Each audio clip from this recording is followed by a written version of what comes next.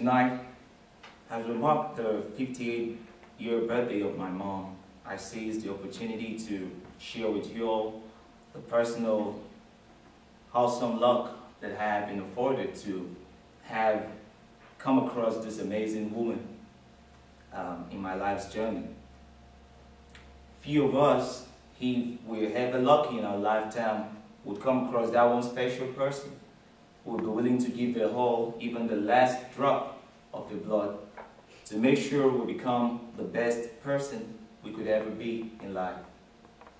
And if you ever meet that special one, and her in turn appreciative, you would soon realize that there's nothing you can ever give back to pay off your debt of gratitude. For me, I have found that special person, my jewel, my precious, my mother. Your birthday, mom, is my special day. Your entry into the world years before my existence was ever determined secured my place among the great. Before I ever knew Christ, my Savior, you had shown me how that cross was borne because you shed your blood and water to give me passage into this world. Mom, it is your bosom that first taught me the meaning of true love.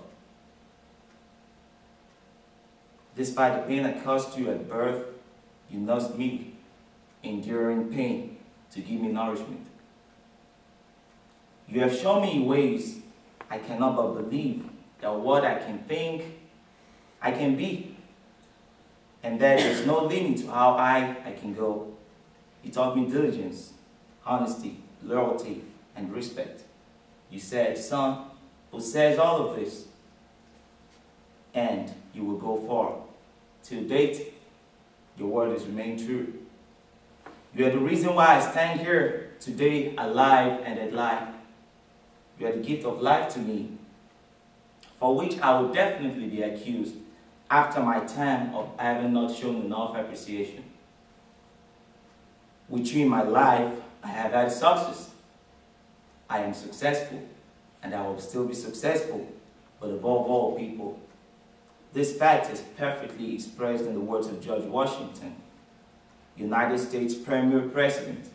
You should all help me eternally cherish that with all respect, all I am, I hold to my mother.